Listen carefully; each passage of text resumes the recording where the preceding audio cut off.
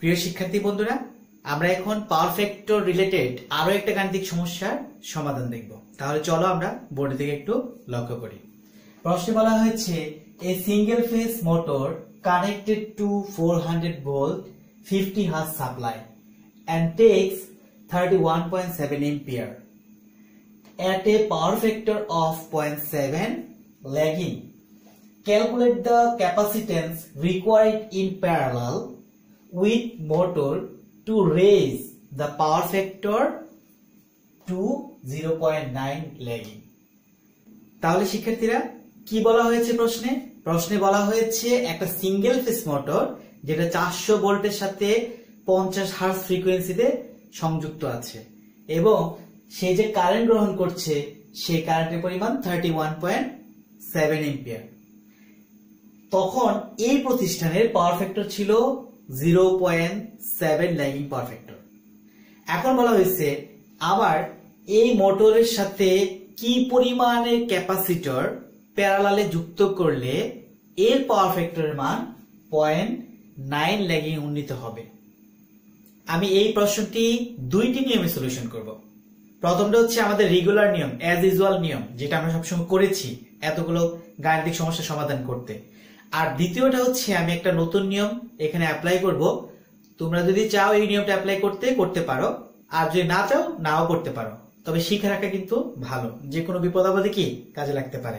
তাহলে চলো আমরা গাণিতিক সমস্যাটা সমাধান করি। গতানুগতিক নিয়মে। যে নিয়মটা আমরা ন্যাচারালি করে আসছিলাম। প্রথমে দেখো আমরা কি করি এখানে? আমরা এখানে দুইটা পাওয়ার ফ্যাক্টর পাই। একটা পাওয়ার ফ্যাক্টর হচ্ছে আদি অবস্থায়, প্রাথমিক অবস্থায়। আমি তার নাম দিলাম হচ্ছে এ বি সি প্রাথমিক অবস্থায় যে পাওয়ার ফ্যাক্টর আমার ছিল, তা দিয়ে যে আমি পাওয়ার ত্রিভুজটা অঙ্কন করব, তার নাম হচ্ছে এবিসি পরবর্তীতে যে পাওয়ার ফ্যাক্টরটা ইমপ্রুভ করা হলো পয়েন্ট নাইন তা দিয়ে যে ত্রিভুজটা গঠিত হবে, তার নাম হচ্ছে এ বি ডি তাহলে এই হলো কথা। তাহলে এখানে একটা কোণ হবে পুরাটা নিয়ে, তার পুরাটা নিয়ে যে কোণটা হবে, তার নাম হচ্ছে কি? থিটা ওয়ান আর একটা হবে শুধুমাত্র এইটুকু নিয়ে, তার নাম কত? থিটা টু এটাকে আমি ভিতরে লিখতে পারি থিটা তাহলে চলো আমরা থিটা ওয়ান থিটা টুর মানটা কত? সেটা কিন্তু আমরা প্রথমে বের করে নিব। প্রথমে আসো সলিউশনের দিকে আগাই। সলিউশনে কি আছে? প্রথম পাওয়ার ফ্যাক্টর তাই না? যখন পাওয়ার ফ্যাক্টর ইমপ্রুভ ছিল না, প্রতিষ্ঠানের আদি বা প্রাথমিক পাওয়ার ফ্যাক্টর কত ছিল? আমি এটা লিখতে পারি, এখানে যদি লিখতে চাও। Primary power factor primary power factor ছিল, সেটাকে আমরা প্রকাশ করব cos থিটা 1 দ্বারা। cos থিটা 1 ইকুয়ালস টু 0.7 সুতরাং theta 1 equals to cos inverse করে যদি পাশে নেই 0.7 তার মান পাবো আমরা 45.57 ডিগ্রি এটা কিন্তু থিটা ওয়ান এই যে টোটাল টুকু, কেমন? আচ্ছা এখন আসো মানে কি বলব আমি? যখন আমি পাওয়ার ফ্যাক্টর ইমপ্রুভ করলাম, তখন আমার পাওয়ার ফ্যাক্টর মানটা কত? তাহলে আমি লিখছি হচ্ছে ইমপ্রুভড পাওয়ার ফ্যাক্টর অর্থাৎ ইমপ্রুভ অবস্থায় আমার পাওয়ার ফ্যাক্টর মানটা কেমন? তার মানটা ছিল cos থিটা টু ধরবো আমরা। তার মান কত? 0.9 এখান থেকে থিটা টু এর মান বের করব। Theta 2 equals to cos inverse করে নিলে তার মান 09 ইকুয়ালস টু কত পাবো? 25.84 ডিগ্রি। তাহলে এই থিটা 2 কোনটা এই যে এইটুকু এই ছোট্ট অংশটুকু হচ্ছে সেই দুইটার মান। কেমন?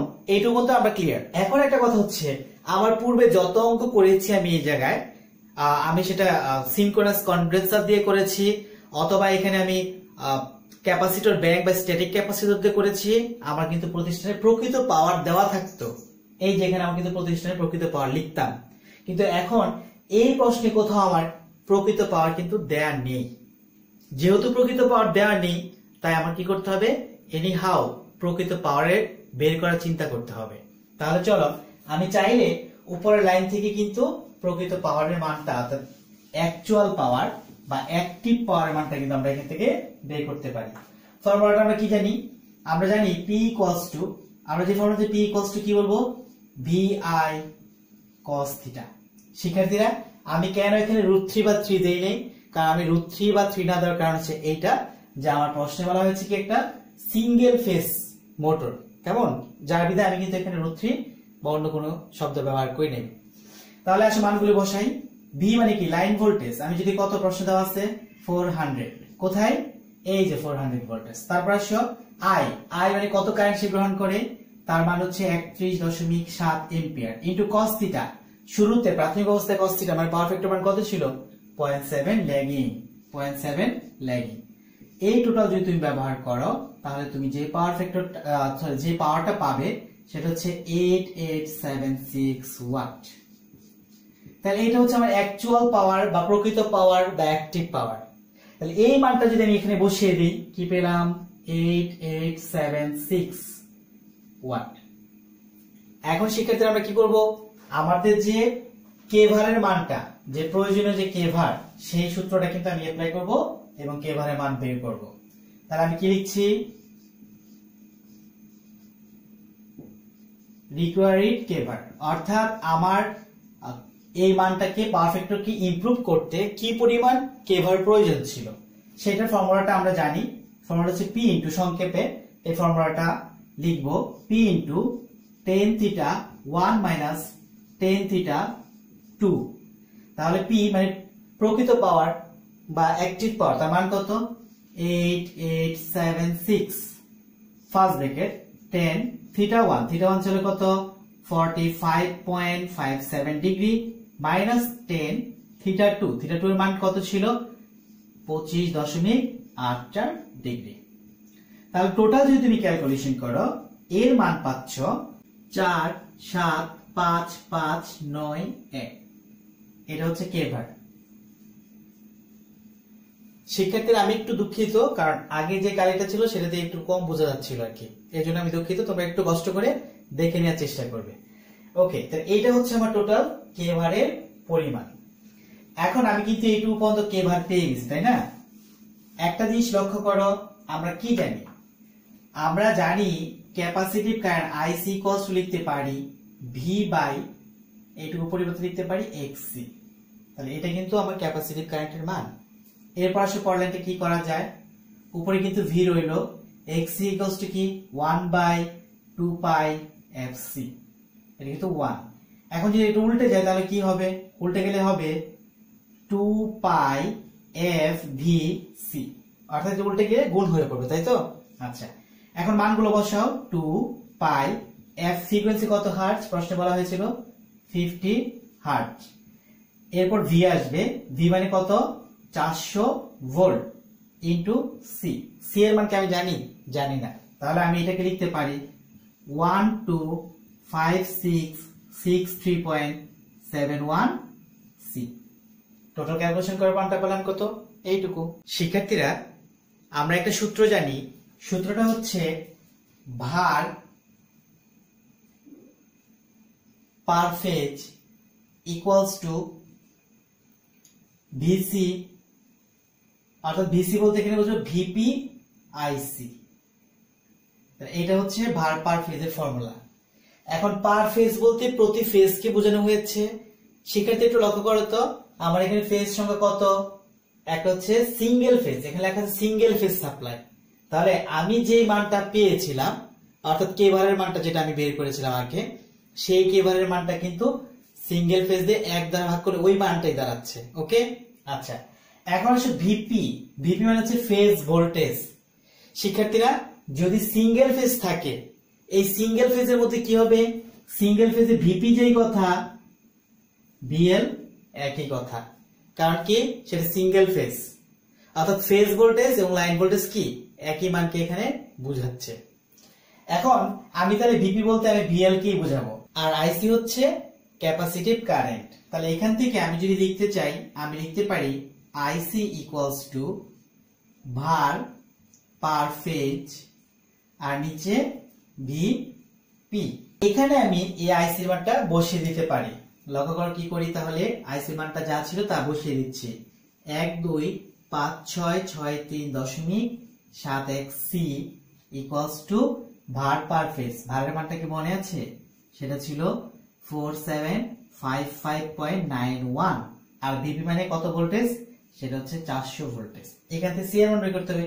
সুতরাং আমি সি ইকুয়ালস লিখতে চাই আমি লিখতে পারি, একটু বাঁকা হচ্ছে, লিখতে পারি চার, সাত, পাঁচ পাঁচ, দশমিক নয়, এক, আর নিচে চারশো গুণন এইটুকু ভাগ হয়ে চলে যাবে। এক, দুই, পাঁচ, ছয় ছয়, তিন, দশমিক সাত, এক।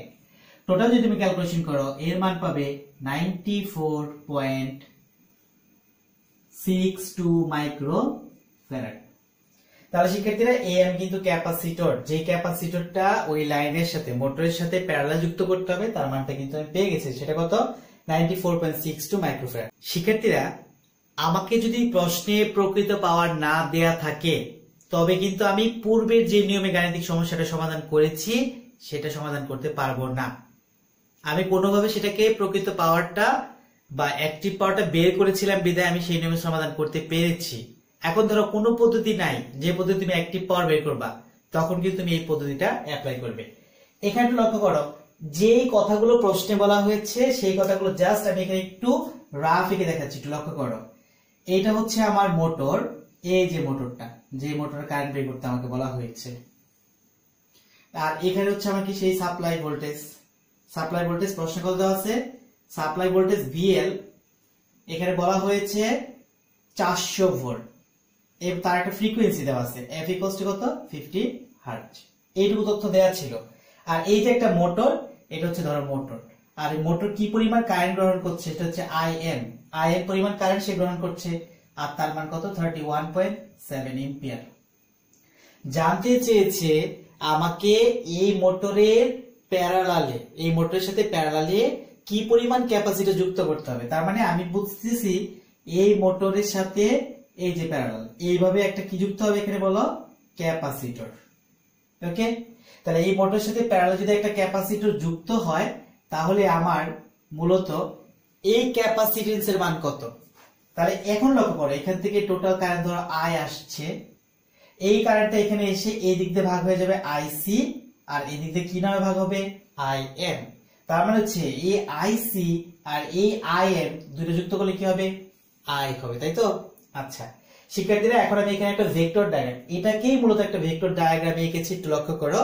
ফার্স্ট অবস্থা দেখো ফার্স্ট কন্ডিশন যেই কন্ডিশনে এই ক্যাপাসিটরটা এই মোটরের সাথে প্যারালাল ছিল না, তখন আমার পাওয়ার ফ্যাক্টরের মান কত ছিল? cos থিটা 1 সমান কত ছিল? 0.7 ল্যাগিং সুতরাং থিটা 1 সমান কত ছিল? থিটা 1 ছিল 45.57 ডিগ্রি এটা দেখো টোটালটা এই টোটালটুকু তখন আমার মোটরের এই যে এই যে, এইটুকু টোটাল দেখো ও এ এই সি এই পুরা বিন্দুটা, এই পুরাটা হচ্ছে কি? মোটরের প্রাইমারি কন্ডিশন প্রাথমিক অবস্থায় এত বড় কোণ ছিল এবং তার মান ছিল, সেটা তো আমি কত বের করলাম সেটা দেখছ তুমি? 45.57 এখন দেখো, যখন তুমি পাওয়ার ফ্যাক্টর ইমপ্রুভ করলে, যখন পাওয়ার ফ্যাক্টর ইমপ্রুভ করলে কত? পয়েন্ট নাইনে তখন থিটার মান তোমরা কত? সেটা জানো। থিটা টু সমান কত? সেটা হচ্ছে পঁচিশ দশমিক আট চার ডিগ্রি। তার মানে এইটুকু। এটুকু কত? পঁচিশ দশমিক আট চার ডিগ্রি। শিক্ষার্থীরা, এইটুকু কেন ইমপ্রুভ হলো? কারণ এইটুকু ইমপ্রুভ হলো একটা ক্যাপাসিটর তার সাথে প্যারালাল যুক্ত করার জন্য। তাহলে ক্যাপাসিটরের মধ্য দিয়ে যে কারেন্ট গেল সেটা নাম কি? ক্যাপাসিটিভ কারেন্ট আর ক্যাপাসিটিভ কারেন্টে হচ্ছে আমার লিডিং কেভারের তৈরি করে বা লিডিং কেভার সৃষ্টি করে। এখন দেখো, যেহেতু এটা একটা পিওর ক্যাপাসিটিভ সার্কিট এই ক্যাপাসিটরের সাথে কোনো ধরনের ইন্ডাক্টর বা রেজিস্টার যুক্ত নাই, তাহলে এই ক্যাপাসিটিভ কারেন্টের যে মানটা, সেটা কি করবে? এটা হচ্ছে আমার ভোল্টেজ রেখা। এটা হচ্ছে আমার কি? ভোল্টেজ রেখা। তাহলে এই ভোল্টেজ রেখা থেকে ঠিক নাইনটি ডিগ্রি উপরে কাজ করবে কে? এই আইসি বা ক্যাপাসিটিভ কারেন্ট এখন এই আইসি কে আমি জাস্ট এখানে এনে যুক্ত করেছি। লক্ষ্য করো, এইটা এই যে আমার আই এম আই এম এই আই এম কিন্তু এটা ছিল ওকে আচ্ছা এই আই এম এর সাথে কে যুক্ত হয়েছে? এই আইসি এই আই এম এর দেখো এই আইসিটা এখানে যুক্ত হয়েছে। তাহলে এই আই এম আর এই আইসি একত্রে যুক্ত হয়ে কি তৈরি করবে? আই আমাদের সার্কিটও কিন্তু তাই বলছে। এই যে আইসি এখানে কারেন্ট ভাগ হয়ে যাচ্ছে, আর এখানে যে কারেন্ট আছে তার নাম কি? আইএম তাহলে আইএম প্লাস আইসি যুক্ত হয়ে কি তৈরি হবে? আই তার জন্য এটা হচ্ছে আই এম আর এর সাথে যুক্ত হয়েছে আইসি এই দুটো যুক্ত হয়ে কি তৈরি করল এখানে? আই তৈরি করল। এখন শিক্ষার্থীরা তোমার মনে প্রশ্ন আসতে পারে যে আইসি তো লিডিং কারেন্ট সে তো এখানে ভোল্টেজ থেকে সে নাইনটি ডিগ্রি এগিয়ে আছে, তাহলে সে এখানে আসলো কি করে? হ্যাঁ এটা আমি তোমাদের দেখাচ্ছি, একটু লক্ষ্য করো। এখানে মূলত যেটা হয়েছে উপরের যে কারেন্টটা আমি জাস্ট তার প্যারালালি নিচে এনে যুক্ত করেছি। দেখো একটু কেমন দেখাচ্ছে এটাকে। আমি যদি এইভাবে দেখাই যে ওখান থেকে প্যারালালি রিপ্লেস করে, এই আইসি কারেন্টকে আমি জাস্ট নিচে নিয়ে এসেছি একত্রে, যুক্ত করে কি? আয়ের মানটা বের করার জন্য। আমি ডটেড লাইনটা টানছি। দ্যাট মিন্স হচ্ছে, এই ডটেড লাইন দ্বারা কি বোঝাচ্ছে? এখানে যে কারেন্টটা ছিল, সেটা আমি জাস্ট প্যারালালি এই নিচে নিয়ে আসছি। ওকে আচ্ছা মূলত কারেন্টটা এখানেই লিডিং হয়েছে, কিন্তু মূলত আমরা ভেক্টর ডায়াগ্রামের সাথে যুক্ত অবস্থায় দেখাবো, তাই এটাকে আমি এখানে এনে A I A I say যুক্ত করে আমি আই কিন্তু তৈরি করলাম। ওকে এখন চলো আমাদের যে গাণিতিক সমস্যার সমাধান করতে প্রশ্নের মধ্যে বলা হয়েছে, আমরা সেই সমাধানের দিকে ধীরে ধীরে আগাচ্ছি। আমি এই সার্কিটটুকু মুছে দিচ্ছি, কারণ এই সার্কিটটুকু আমার কোনো কাজে লাগবে না। এইটুকু আমি আর রাখলাম না। আমি যেহেতু এখানে কোণের মানটা রেখে দিয়েছি ওকে শিক্ষার্থীরা, একটু লক্ষ্য করো। এখানে আমি দুইটা নিয়ে বিষয় নিয়ে আলোচনা করব। একটা হচ্ছে অ্যাক্টিভ কারেন্ট আর একটা হচ্ছে রিয়েক্টিভ কারেন্ট একটু লক্ষ্য করো ফার্স্টে আমার মোটরের অ্যাক্টিভ কারেন্ট কি হবে? আমি এই ত্রিভুজটাকে জাস্ট সিঙ্গেল রাখছি, একটু লক্ষ্য করো। এইটা। তাহলে এখানে এটা হচ্ছে পি অ্যাক্টিভ পাওয়ার আর এটা হচ্ছে রিয়েক্টিভ পাওয়ার সেটা হচ্ছে আর আর এখানে হচ্ছে আপাত পাওয়ার এস অথবা অ্যাক্টিভ পাওয়ার রিয়েক্টিভ পাওয়ার কারণের সময় কিউ দ্বারা প্রকাশ করে কিউ ওকে আচ্ছা ধরো, এখানে যে কারেন্ট তা না হচ্ছে আই এম মোটর কারেন্ট তাহলে এই মোটর কারেন্ট বলতে এই কারেন্টটাকে বোঝাচ্ছি। কোন কারেন্টটাকে এই অংশের কারেন্টটুকুকে বোঝাচ্ছি। শিক্ষার্থীরা, আমি যদি এই অংশের কারেন্ট জানি, আর আমি মূলত হচ্ছে অ্যাক্টিভ অংশ বের করতে চাই অ্যাক্টিভ বলতে আমি কি বুঝব? অ্যাক্টিভ বলতে ভূমির সাথে যে অংশটা আছে তার মানটা কিন্তু বের করো। এটা লক্ষ্য করো। এটা হচ্ছে থিটা থিটা ওয়ান প্রথম অবস্থায়। তাহলে আমি বের করব কার মানটা? পি এর মানটা বের করব। তাহলে আমি যদি পি এর মান বের করতে চাই, আমি কি লিখব? আমার অতিভুজ দেওয়া আছে আর কি দেওয়া আছে? অতিভুজ দেওয়া আছে, ভূমি দেওয়া আছে। তাহলে আমি অতিভুজের মান ব্যবহার করে ভূমি বের করব। তাহলে অতিভুজের সাথে ভূমি সম্পর্ক কার? অতিভুজের সাথে ভূমি সম্পর্ক কিন্তু cos থিটা এটা লক্ষ্য করো আমি কি লিখতে পারি? cos থিটা ইকুয়ালস টু ভূমি বাই অতিভুজ। আমি লিখতেই পারি, ওকে? আচ্ছা এখন এখানে এস হচ্ছে কি আমার? অতিভুজ, আর পি হচ্ছে কি এখানে? ভূমি, ওকে? আচ্ছা আর এখানে হচ্ছে কি এটা? থিটা। এখন এখান থেকে যদি আমি পি এর মান, অর্থাৎ ভূমির মান বের করতে চাই এরপর আমি কি লিখব? cos থিটা থিটা ওয়ান, আমি এখানে থিটা ওয়ান যেহেতু দিয়েছি, ভূমি ভূমি হচ্ছে কি? পি আর এখানে একটু লক্ষ্য করো এই যে এস আপাত পাওয়ার তার মান কি? আই এম ওকে এটা হচ্ছে কি আমার আই এম এখন এখান থেকে যদি আমি পি এর মানটা বের করতে চাই, আমি কি লিখব? P equals to I M cos theta one লিখতেই পারি। তাহলে এই পি হচ্ছে কি আমার ভূমি, আর পি হচ্ছে আমার অ্যাক্টিভ পাওয়ার বা অ্যাক্টিভ কম্পোনেন্ট একটা ত্রিভুজের কি কম্পোনেন্ট থাকতে পারে? দুইটা কম্পোনেন্ট থাকতে পারে। একটা অ্যাক্টিভ কম্পোনেন্ট একটা কি? রিয়েক্টিভ কম্পোনেন্ট মূলত আমার দরকার হচ্ছে অ্যাক্টিভ কম্পোনেন্ট তাহলে আমি এইটার যদি প্রথমটা যদি আমি থিটা ওয়ান ধরি, পুরোটার জন্য, তাহলে তার অ্যাক্টিভ কম্পোনেন্ট হচ্ছে I M cos theta one আর যদি আমি থিটা টু এর জন্য ধরি, তার ফর্মুলাটা কি হবে? সেম অবস্থা থাকবে। সেখানে থাকবে হচ্ছে আই এখানে আর এম থাকবে না। কেন? আমি আই এম ছিল পুরাটার জন্য। আর এখন যখন আমি ধরছি এই ছোট ত্রিভুজটার জন্য থিটা টু এর জন্য, তখন আমার আই এম এর পরিবর্তে শুধু কি চলে আসবে? আই চলে আসবে। কেমন? আই এম এর পরিবর্তে কি চলে আসবে? আই চলে আসবে। তাহলে শিক্ষার্থীরা, আমি এই ফর্মুলাটা বা এই টেকনিকটা ইউজ করে এখানে একবার হচ্ছে আই এম এর অ্যাক্টিভ কম্পোনেন্ট বের করব আর একবার হচ্ছে আই এর অ্যাক্টিভ কম্পোনেন্টের মানটা আমি বের করব। তাহলে চলো প্রথমে বের করে হচ্ছে আই এম এর কম্পোনেন্টের মান অ্যাক্টিভ কম্পোনেন্টের মান। তাহলে আমি লিখছি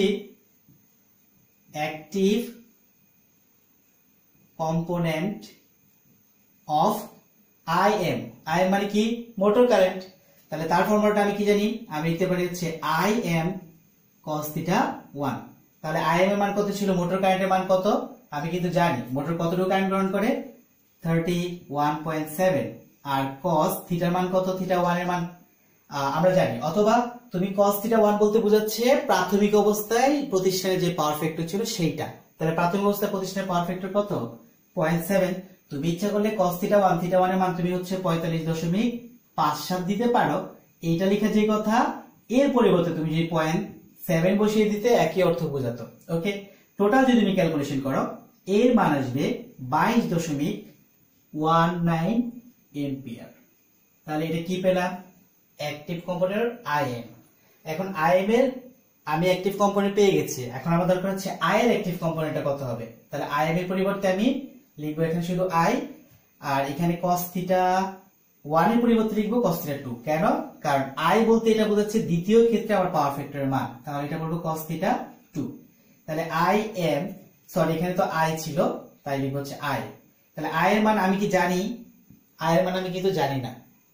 আমি মোটর কারেন্টের মান জানি, আমি যদি ক্যাপাসিটিভ কারেন্টের মান জানতাম, দুইটা একত্র যুক্ত করে আই হইতো। কিন্তু আমি কিন্তু আয়ের মান জানি না। আয়ের মান পরবর্তীতে কোনোভাবে আমরা বের করার চেষ্টা করব। তাহলে I cos theta two cos theta two মানে কি বলছে? দ্বিতীয় ক্ষেত্রে, অর্থাৎ যে অবস্থায় পাওয়ার ফ্যাক্টর ইমপ্রুভ হয়েছিল, সে অবস্থায় পাওয়ার ফ্যাক্টরের মান, সেটা কত? সেটা হচ্ছে পয়েন্ট নাইন লাগি আমি ইচ্ছা করলে cos থিটা এই থিটা টু এর মান কত? পঁচিশ দশমিক আট চার দিতে পারি, দিয়ে মান বের করতে পারি, অথবা এর পরিবর্তে আমি লিখতে পারি পয়েন্ট কত? নাইন যেটাই লিখি না কেন, তার উত্তর হবে পয়েন্ট নাইন আই তাহলে এটা হচ্ছে অ্যাক্টিভ কম্পোনেন্ট অফ আই আর পরেরটা কি ছিল? অ্যাক্টিভ কম্পোনেন্ট অফ কি? আই এম এখন যদি একটু লক্ষ্য করো তো অ্যাক্টিভ কম্পোনেন্ট আই আর অ্যাক্টিভ কম্পোনেন্ট হচ্ছে আই এম দুইটারই কিন্তু ভ্যালু একই রকম। কীভাবে? এখানে দেখো, এইটা, এই যে পুরাটা, আমি চিন্তা করো পুরাটা কি বলব? এখান থেকে এইটুকুর মান বের করছি। সেক্ষেত্রে কোনটুকু মান? এইটুকু। আবার এখান থেকে এইটুকু যখন এই ত্রিভুজের সাপেক্ষে বের করছি, তখনও কিন্তু এইটুকুর মানে বের করলাম। অর্থাৎ প্রথম অবস্থায় আমার যে ত্রিভুজ ছিল, যেইটুকু পরিমাণ দূরত্ব ওয়ে অতিক্রম করেছি। দ্বিতীয় অবস্থায় আমার কিন্তু দেখো, এই যে ত্রিভুজটা, সেইটুকু ক্ষেত্র কিন্তু আমি অ্যাক্টিভ কম্পোনেন্ট বলতে এইটুকুর মান ও এর মানই বের করলাম। অর্থাৎ প্রথম ক্ষেত্রে আমি ও এর মান বের করেছি, দ্বিতীয় ক্ষেত্রে আমি ও এর মান বের করেছি। তাহলে আমি বলতে পারি দুইটা সমান। তাহলে আমি এখানে লিখে দিই মানটা। মানটা কত ছিল?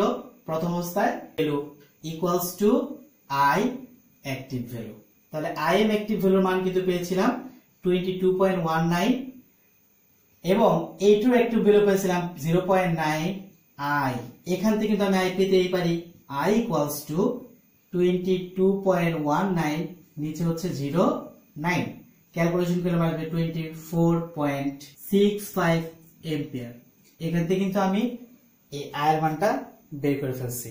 এখন সেক্ষেত্রে আমি এতক্ষণ অ্যাক্টিভ পাওয়ার এই এই বড় ত্রিভুজের ক্ষেত্রে অ্যাক্টিভ পাওয়ার যেটুকু, আবার ছোট যে ত্রিভুজটা, তার ক্ষেত্রে অ্যাক্টিভ পাওয়ার কিন্তু একই রকম ছিল। যার বিধে আমি বলেছি এইটা অ্যাক্টিভ পাওয়ার সমান এটা অ্যাক্টিভ পাওয়ার ক্যালকুলেশন করে আমি কিন্তু এখান থেকে আয়ের মানটা বের করে ফেলছি। এখন আমি রিয়েক্টিভ পাওয়ার বের করব। রিয়েক্টিভ পাওয়ার বলতে প্রথম ত্রিভুজে রিয়েক্টিভ পাওয়ার কোনটা লক্ষ্য করো। ও ও এ সি যে ত্রিভুজটা, তার রিয়েক্টিভ প্রথম ক্ষেত্রে রিয়েক্টিভ পাওয়ার কত? পুরাটা। এসি তাই না? আচ্ছা। আর এই যে দ্বিতীয়টা, দ্বিতীয় ক্ষেত্রে তার রিয়েক্টিভ পাওয়ার কত? এবি প্রথম ক্ষেত্রে পুরাটা এসি তারপর যখন পাওয়ার ইমপ্রুভ হলো, তাহলে আমার রিয়েক্টিভ পাওয়ারটা কত? এবি তাহলে আমি একবার এসির মান বের করব, আরেকবার কিসের মান বের করব? এবির মান বের করব। শিক্ষার্থীরা, আমরা জানি একটি পাওয়ার বের করতে হয় কস থিটা দ্বারা রিয়েক্টিভ পাওয়ার বের করতে কি দ্বারা?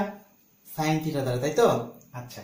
সেক্ষেত্রে দেখো, আমি বলছি পুরা ত্রিভুজ, পুরা ত্রিভুজের ও এ সি ত্রিভুজের যে reactive power reactive power of I M অর্থাৎ মোটর কারেন্টের রিয়েক্টিভ পাওয়ার তাহলে এইটুকুর মান আমরা কি জানি? সেটা আমরা প্রকাশ করব হচ্ছে এসি দ্বারা। তাহলে এসি ইকুয়ালস টু কোনটুকু জানি আমি?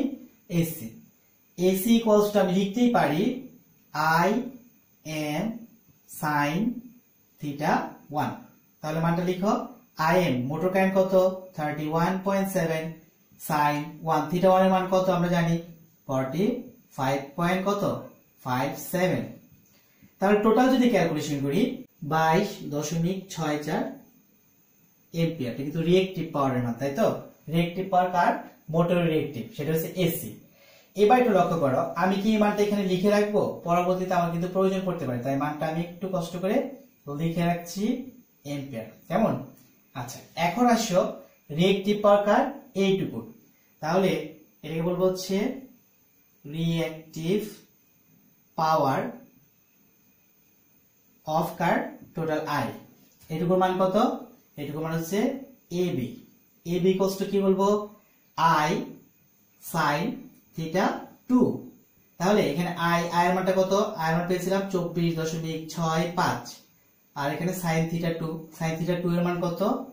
পঁচিশ দশমিক আট চার। টোটাল ক্যালকুলেশন করলে এই মানটা তুমি পাচ্ছ দশ দশমিক সাত পাঁচ এম্পিয়ার তাহলে এটা হচ্ছে আমার কি রিয়েক্টিভ পাওয়ার তাহলে শিক্ষার্থীরা, এখন আমরা একটা গুরুত্বপূর্ণ সিদ্ধান্তে আসব। আমি কিন্তু এই মানটি লিখব। দুঃখিত, আমি এখানে একটা মান ছিল, সেটা আসলে ভুলবশত মুছে ফেললাম। বাইশ দশমিক, মানটা আমি লিখতে পারি ছয় চার এম্পিয়ার ওকে আচ্ছা এখন এইটা কিন্তু আরেকটা মান। সেটা কার মান? সেটা হচ্ছে এ বি এ বি মান হচ্ছে দশ দশমিক সাত পাঁচ এম্পিয়ার শিক্ষার্থীর, একটা জিনিস লক্ষ্য করো তো, তুমি যদি এই পুরাটা থেকে এইটুকু বাদ দাও, তাহলে তুমি কি পাচ্ছ? বিসি পাচ্ছ। তুমি যদি পোড়া এসির মান থেকে এবির মান বাদ দাও, তাহলে কি পাচ্ছ? তুমি বিসির মান পাচ্ছ। তাহলে আমি লিখি, আমি লিখব হচ্ছে বিসি ইকুয়ালস টু পুরাটা এসি মাইনাস এবি এখন এই পুরাটা লক্ষ্য করো। এসির মানটা কত? বাইশ দশমিক ছয় চার মাইনাস এখানে আছে এবি এবির মানটা কত? Ten point seven five total calculation করলে মান পাবো। কিন্তু এই বিসি বলতে কাকে বোঝাচ্ছি আমি? এই বিসি বলতে আমার আইসি আইসি মানে কি? ক্যাপাসিটিভ কারেন্ট তাহলে বিসি পরিবর্তে আমি লিখতে পারি আইসি এগারো দশমিক আট পাঁচ এম্পিয়ার তাহলে আইসি বা ক্যাপাসিটিভ কারেন্ট সেটা কিন্তু আমি অলরেডি বের করে ফেলছি, তাই না? আচ্ছা এইটুকু কিন্তু আমার প্রয়োজন নাই। এখন যেহেতু আইসি বের করেছি, শিক্ষার্থীরা, আমরা আইসি পরিবর্তে কি লিখতে পারি? আমরা লিখতে পারি VC by VC by XC আমি লিখতে পারি? আইসি পরিবর্তে, আর এখানে তার মান কত? এগারো দশমিক কত? আর পাঁচ। আমি এইটুকু মুছে দিলাম। এখন আমার এখানে একটা জিনিস লক্ষ্য করো। বিসি ঠিক রইল? আইসি ইকুয়ালস টু কি? One by two pi F C তাই তো? এগারো দশমিক কত? আট পাঁচ। এখন আমি এটাকে ক্যালকুলেশন করে পাবো two pi F C V C equals to eleven point eight five এখান থেকে শুধু সি বের করতে চাই। সি ইকুয়ালস টু আমি লিখতেই পারি ইলেভেন পয়েন্ট এইট ফাইভ আর নিচে হচ্ছে টু পাই এফ এর মান ফ্রিকোয়েন্সি কত ছিল? ফিফটি হার্জ প্রশ্নে কিন্তু উল্লেখ আছে।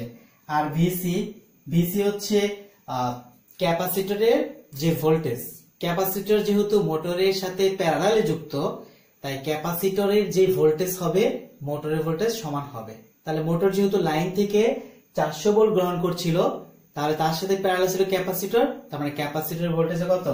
চারশো ভোল্ট। টোটাল যদি ক্যালকুলেশন করো, এর মান পাবে ninety four point three four micro farad তাহলে এইটা হচ্ছে তোমার সেই কাঙ্ক্ষিত যে তোমাকে বলছিল যে কি পরিমাণ ক্যাপাসিটেন্স প্যারালালে মোটরের সাথে যুক্ত করতে হবে। তাহলে শিক্ষার্থীরা, এটা হচ্ছে আমার পরবর্তী পদ্ধতি। তোমার যেটা ইচ্ছা, তুমি যেই পদ্ধতিতে সুবিধা মনে করো, সেই পদ্ধতি তুমি ব্যবহার করে এই গাণিতিক সমস্যাটা সমাধান করবে। শিক্ষার্থীরা, ধন্যবাদ সবাইকে।